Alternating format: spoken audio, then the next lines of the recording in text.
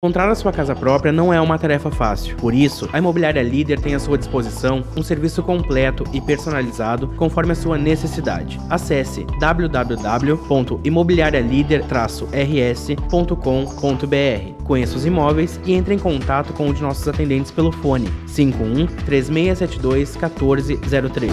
Imobiliária Líder, há oito anos realizando sonhos.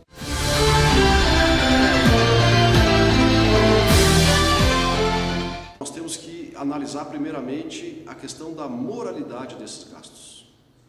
O município de Tapes e todos os outros municípios do Rio Grande do Sul, e não é exceção o Rio Grande do Sul, no Brasil também, eles passam por uma circunstância de muito aperto, um, uma, uma restrição orçamentária muito grande, e todos os poderes estão se somando na racionalização dos gastos públicos. O município de Tapes com a arrecadação que tem e ainda uh, tendo esse gasto excessivo na Câmara de Vereadores, não tem justificativa moral. Muitos poderão dizer de que foram a Brasília e de lá trouxeram 2 milhões de reais, uh, de que justificando esse gasto exorbitante uh, na vinda provável desses 2 milhões de reais. Esses recursos poderão ser pagos pelo, pela União, não são garantidos. E eu obtive uma emenda do, a, a, através do deputado Cherini e não precisei ir a Brasília, não tive gasto com uma diária, através de e-mail, telefonema e no encontro que nós tivemos em Porto Alegre e lá depois ele nos mandou o ofício.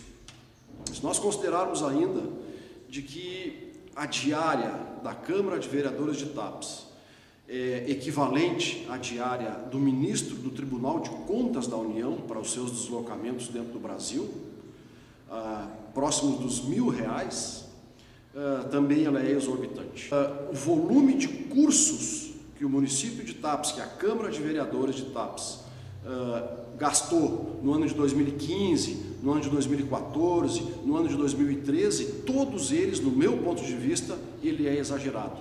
Não se justifica para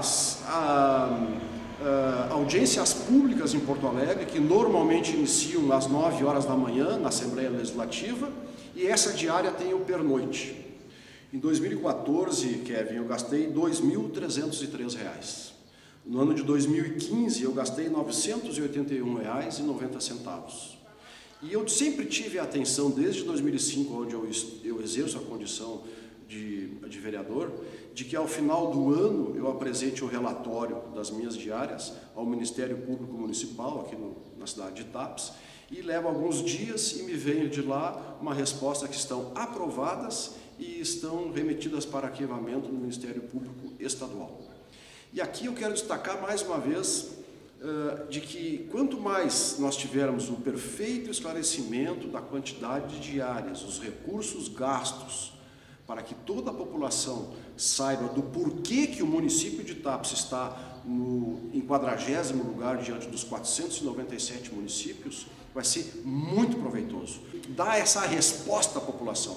Isso aí eu acho que é uma função que a imprensa deve fazer e eu, na minha pessoa, eu me coloco à disposição para todo e qualquer esclarecimento.